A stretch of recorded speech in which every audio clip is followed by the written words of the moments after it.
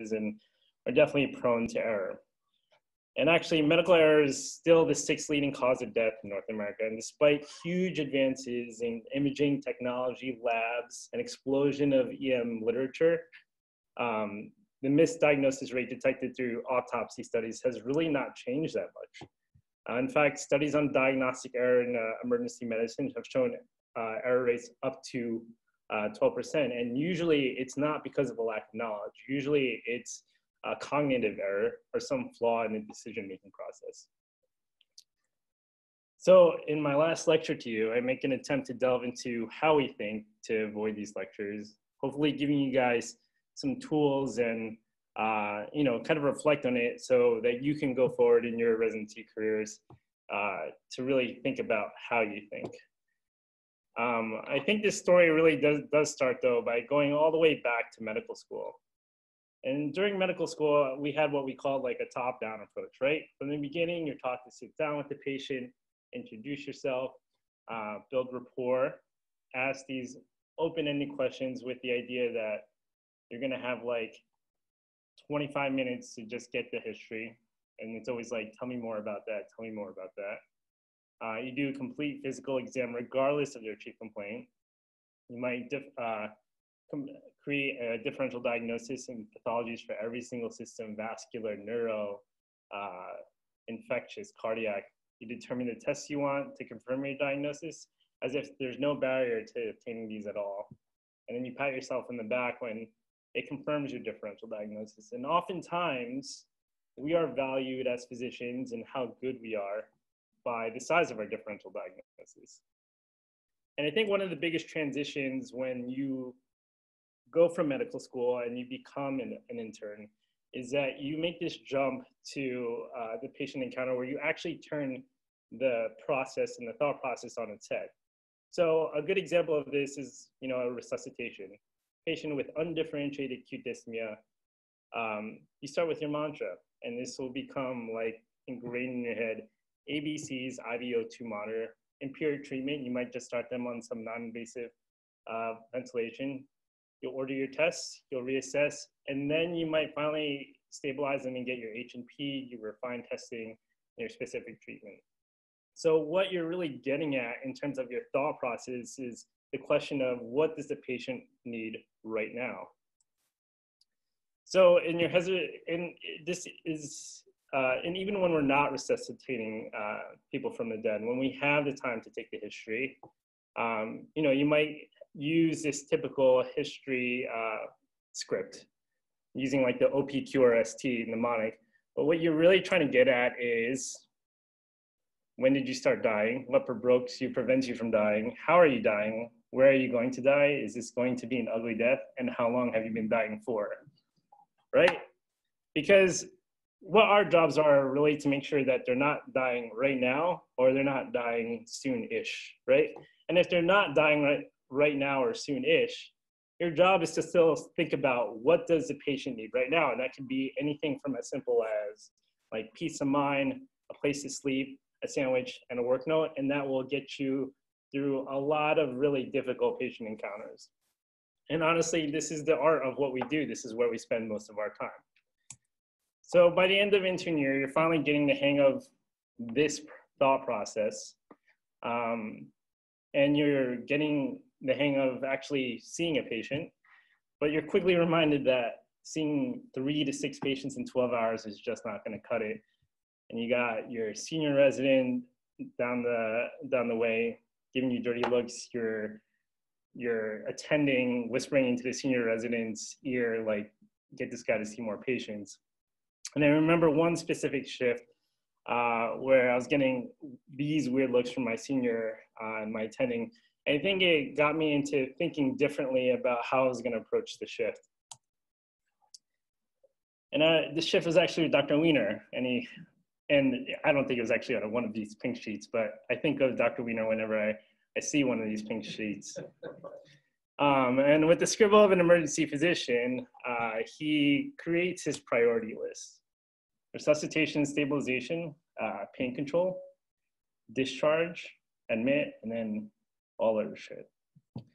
Um, so obviously I felt that overwhelming sense of poop to poop again because I was overwhelmed. But instead of running to the bathrooms for some positive affirmations, I discharged and admitted those patients ASAP. And you know, this is a really big growing point for me in terms of, uh, you know, as you make that transition to first from first year to second year, uh, it's no longer just about you and the patient. You really have to think about in the entire room. Um, and you know, I I really like this list a lot, but um, when I really think about how this list has changed for me over the the past couple years, I'm actually going to expand on it slightly. Um, and I think this is what these are all the things that we think about and makes us, uh, which is what separates us from everybody else in the hospital. And many of them overlap, but it's resuscitation, identification of uh, dangerous conditions, symptom relief, determination of disposition slash level care, managing ED flow, customer service, whether you like it or not, resource stewardship and public health, and encompassing all of this is education. Right, so now you kind of built this framework of like, all right, now I'm an emergency physician, know how to think through a patient, I know how to think through my priorities, um, so let's change gears a little bit. And I think the next uh, section of this talk, uh, you know, this I really like this quote because it I think it really does kind of encompass like what we have, what we do in emergency medicine. That life is short and the art long, the occasion instant, experiment perilous, and decision difficult. And that last part really resonates with me because this is where I think I made probably the most growth in my in terms of uh, becoming a phys uh, emergency physician. So I'm gonna, uh, so over the last two years, I'll, and for the remainder of this talk, I'm uh, mostly gonna talk about decision making. So let's start with a patient. 65 year old male, history of hypertension, hyperlipidemia, diabetes, acute onset of chest pain and shortness of breath. Quick, what is this? Anybody? Nobody? MI.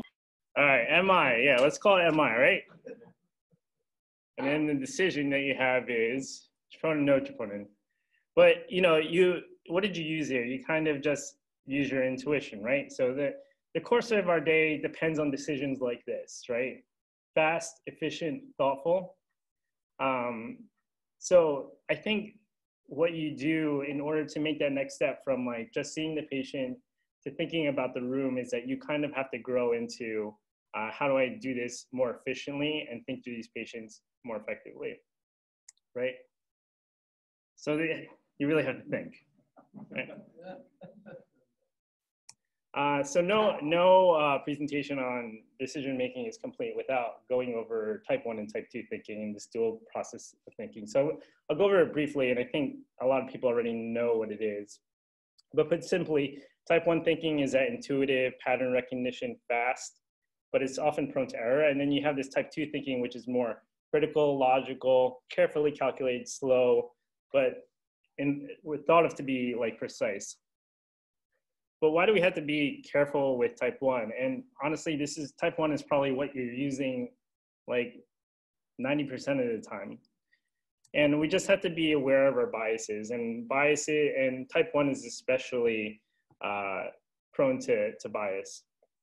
Um, and it's the biases that, uh, as I explained before, lead to a lot of the medical error. It's not the lack of knowledge, which is kind of a relief to me because the breadth of emergency medicine and the amount of things you have to, know to know is, is you're never going to be able to, to figure it all out. But at least you could really use your resources to really think about the process. So I think a lot of people already know what cognitive biases are right? It's like biases of uh, how a patient looks, how you're feeling in the moment. There's recency bias, there's the confirmation bias, like you want the positive answer, so you're gonna more likely think that that's the right answer. You might be uh, tempted to think that these biases don't um, affect you, but they really do. But it's no knock on your intelligence. Rationality and intelligence are separate, right? Uh, so just like intelligence won't allow you to solve like advanced uh, mathematical algorithms without training in mathematics can't really master rationality, which is what I'm going to be talking about, without studying its process and its known errors. So let's get into this, right? You take these two facial expressions. Immediately, if you saw these patients, you would bring certain feelings and thoughts, right? So the left patient is angry and it's probably going to be an unpleasant uh, patient interaction. And the right is a pleasant looking, uh, well appearing lady, and it's probably to be easy patient interaction.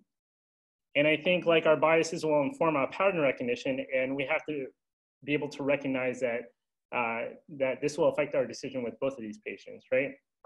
Because maybe the patient on the right is getting ready to sundown any second to you right now and make your overnight a living hell, but here we are. So, and it's interesting because this has actually been studied. Uh, Jeff Kline is like a guy that I've read multiple times because um, I developed some obsession over PE, but he does a lot of the, uh, he published two studies on uh, just the way people look. And one of these is like uh, titled Decreased Facial Expression in Those with Serious Cardio Cardiopulmonary Disease. Um, and I remember Silverberg saying that this is like kind of your game in the pod, right? You got to find the needle in the haystack because there's that one patient that's dying somewhere, uh, and you got to find that patient. And uh, there was actually this actually happened at Lutheran for me, and it was a busy day, and there was this uh, elderly Chinese male that was just sitting in his bed, being really obedient, and just uh, just being super patient. I kept on saying, "I'll be right back. I'll be right back." And then, you know, um, my attending had shotgun some labs and got everything done. And this guy was having an MI, so like he was actively dying in front of me, but I was cognitively unloading him because he just looked like he was being obedient and stoic. And you just got to be really careful about this. Um, the other thing too that's interesting is that Kline also looked at uh, smiling patient and its effect on the, uh, the probability of PE. And in this one, it didn't really affect the eventual outcomes for these patients, but smiling patients on average lowered the uh, physician's uh, pretest probability for PE. So you know, let's go back to this patient. Same patient, 65, hypertension, hyperlipidemia, and diabetes. A lot of you uh, thought MI didn't have to order the troponin. But you know, what if I told you that this was a patient that presented on March 29, 2020, and the diagnosis was COVID, right? So this is like this is a this is where we fail with type one thinking, and um, I think developing your instincts is is a huge part of residency, and it's just important to continue to be skeptical.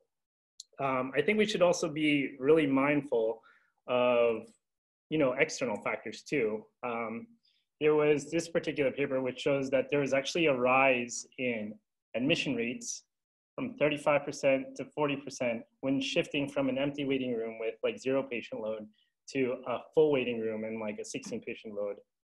So, you know, with that said, there's many decisions that we have to make in our head with many factors like how the patient looks, how the department looks, and even the community working. So I think there's like some tools that I've tried to use through over the years uh, to help me cognitively unload and try to make these decisions better. One of which is uh, clinical decision tools.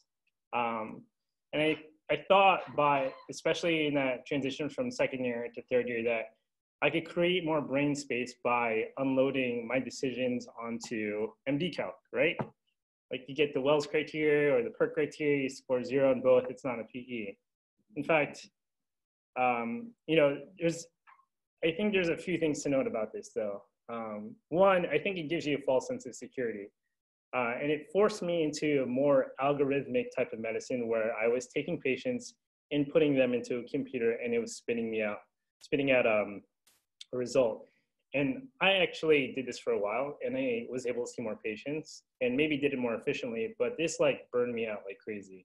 And I don't think I realized it until I, I stopped doing this. I thought about the patients more. I read the actual literature behind it, that I actually progressed in my career uh, as, a, as a resident and really uh, started to enjoy the work again.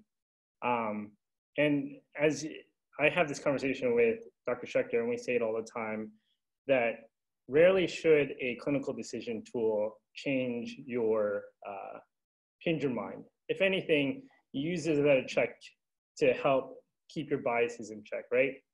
Because remember, you come into every clinical decision tool requires a pretest probability that you calculate in your head. You put this into MD Calc for any kind of score. You have to come to use Bayesian theory, and don't get me into that. I won't get into right now. And then you come with a post-test probability. And oftentimes you're using it primarily to, uh, to check yourself, right?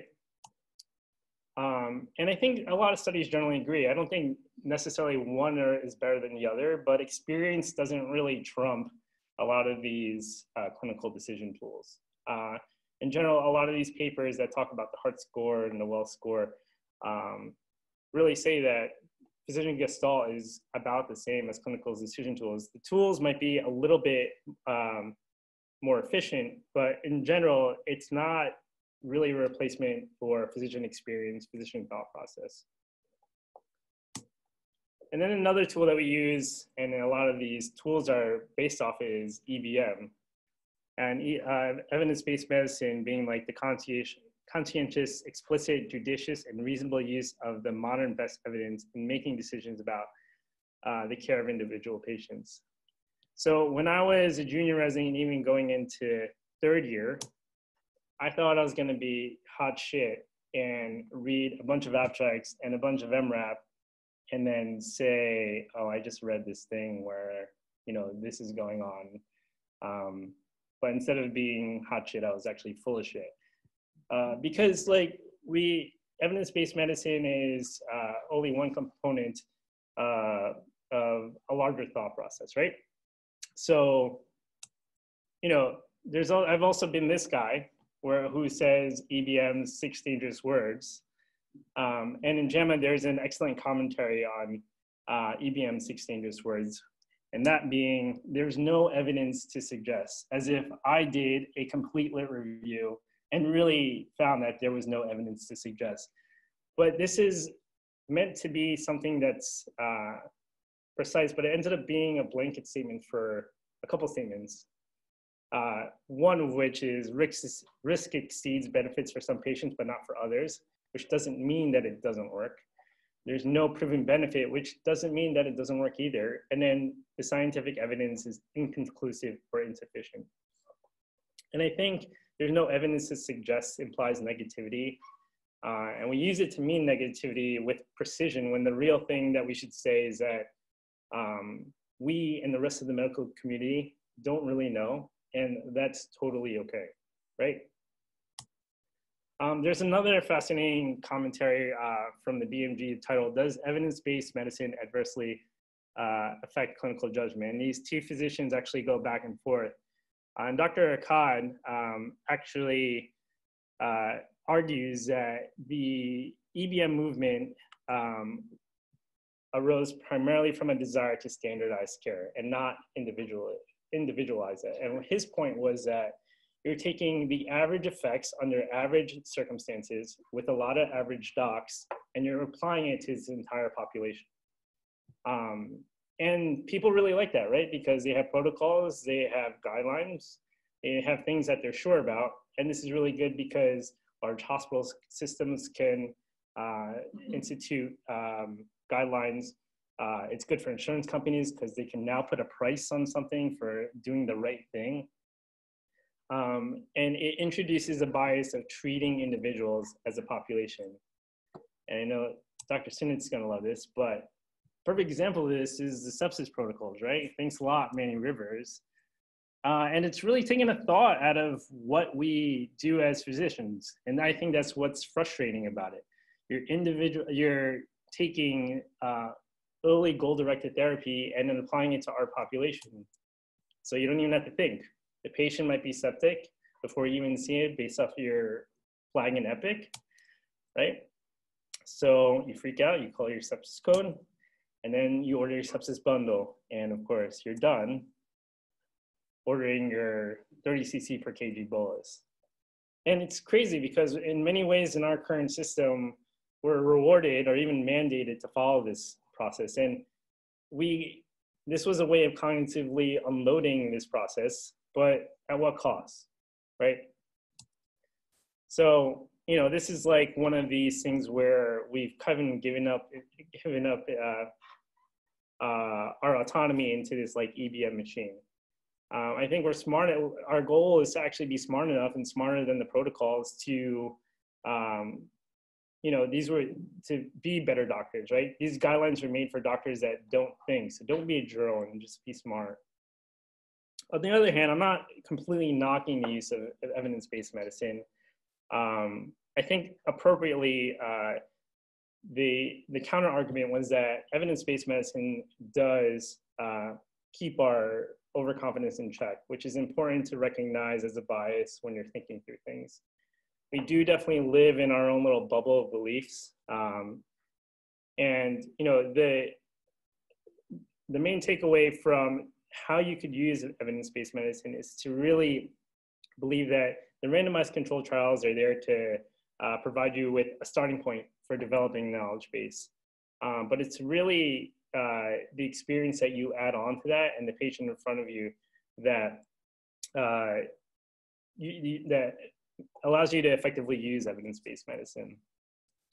And it's even in the original construct of evidence-based medicine that it includes three things, right? It includes the best research available. And just because the research says that it's good, doesn't mean it's necessarily good in your experience or for the patient's values, right?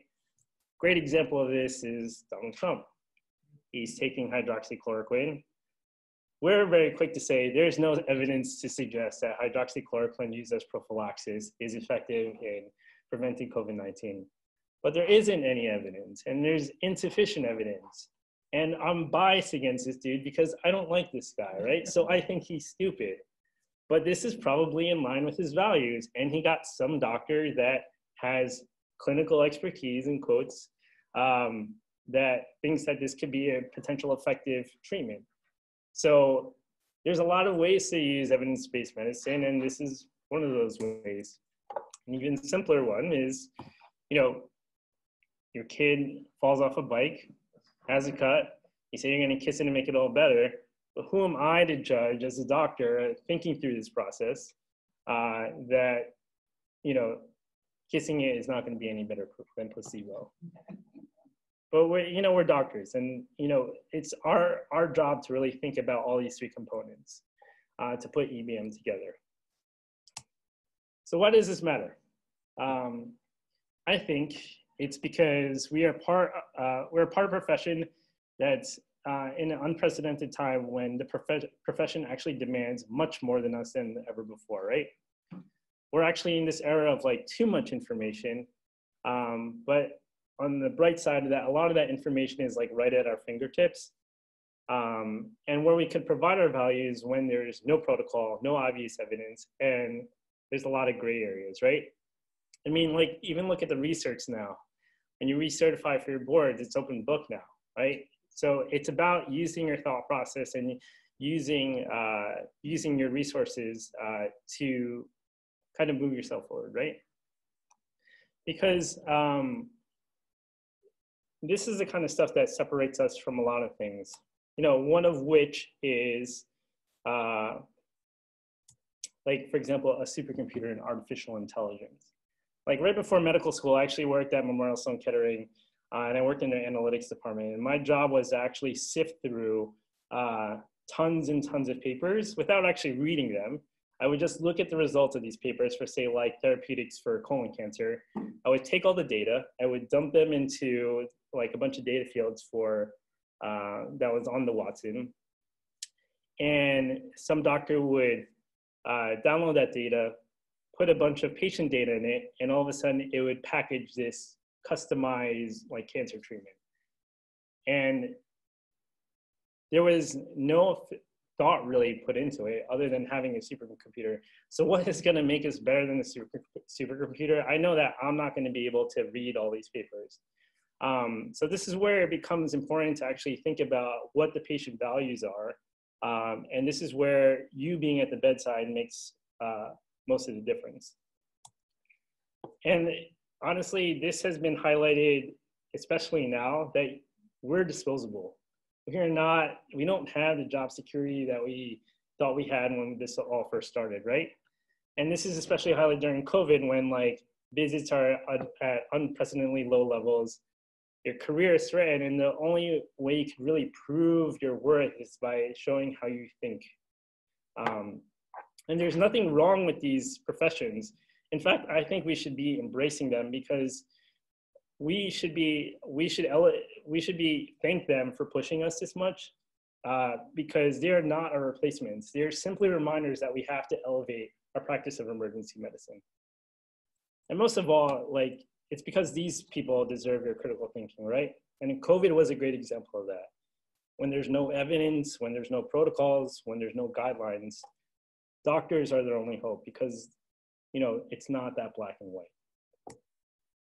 So we get me to this. What is the purpose of residency? And it, this feels a lot like what's the purpose of life, but um, you know, if you ever read this book, Blink, um, I think one of the reasons people really gravitate to this book and why it was so popular was it presents this idea that we magically know things without actually knowing why we know these, these things, right? This gut feeling and this intuition. And Malcolm Gladwell often make the argument that uh, sometimes, and often actually a majority of the time, these uh, decisions are much better uh, than actually the type two thinking.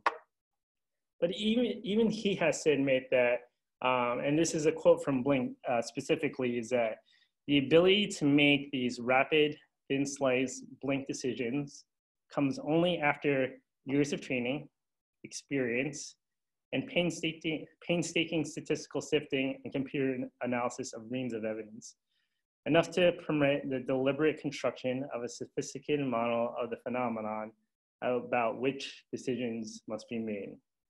Uh, that's a long way of saying more patience, more learning, right? Um, but I'm gonna extend that again a little bit. And um, the value of experience is not necessarily always just in seeing much, but in seeing wisely. So I implore you as like junior residents and even as you go further, you really need to uh, give yourself immediate feedback on your type one thinking and your heuristics. So that includes following up on your patients, questioning your consultants, watching your interventions actually work in real time. I can tell you how many times I've told an intern uh, during an APE case to stand at the bedside and actually see what happens when you start that positive pressure and ventilation and you give the nitroglycerin because you, you really need to see that effect happen. Um, and your gut intuition come from an immediate feedback of our jobs. Uh, so validate your heuristics and spend, you know, whatever time you have left in residency doing that. Um, there's another fantastic paper that I have to credit D'Souza for sharing with me, and it's called uh, The Master Clinician's Approach to Diagnostic Reasoning. Uh, and it says learners should appreciate that information is not the same as understanding, and understanding is not the same as insightful experience, which is the basis of clinical wisdom. I mean, if you think about it, the edge that the faculty has all, over all of us is their experience and that much amount of time at the bedside that you don't have. So push them to share it with you, right? Like demand it and be relentless about it to get that experience and so that you can refine your thinking. So um, that kind of like gets me to my parting words, right? Uh, as an emergency physician, we think differently, right? That top down versus that bottom up uh, approach that we talked about. You're not just responsible for your patient, you're responsible for the department and your community. And that's especially true in our like under resourced, overrun uh, hospitals. Understand the tools that you have to make a decision, um, but also understand the limits of them um, and be skeptical and curious. You should always keep yourself in check, whether it's making too easy decisions, being overconfident, right? More patience, more learning as well, but be wise about it. And I didn't really include this, but of course, be nice, right, Dr. G? Um, so uh, many thanks to everybody that like just I didn't really bounce too many of these ideas off of people, but there are some. Um, most most of the time people were just hearing me complain about the fact that I had to put this together. Um, but uh, you know, I the, no senior lecture would be uh, complete until I uh, thanked a, a couple people, right? Story leadership, Dr. Lucchese, Dr. Mehta, Dr. Zaki, Dr. Holt, Dr. Lino, Dr. Verma, program leadership, Dr. Smith, Willis, Kendall, Hassel, Dr. Schechter, Gennaro, Regan, Ocasio at some point. Um, and you know, there's a couple people that really did push me how to think, like Dr. D'Souza, Dr. Barron, Dr. Sinner, Dr. Gerncharmer, Dr. Kim, Dr. Kim, Dr. Stets, Dr. Wolfram, Dr. Tajani. I'm sure I'm missing a couple more, right? And then I have these two guys from the class of 2001. On the left is my cousin, actually, that actually graduated with Silverberg. Uh, and I never thought I'd be looking up to these two guys of all people, but here we are.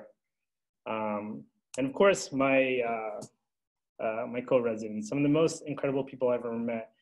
Uh, you guys uh, really pushed me and allowed me to be a leader and an educator and made me a better doctor.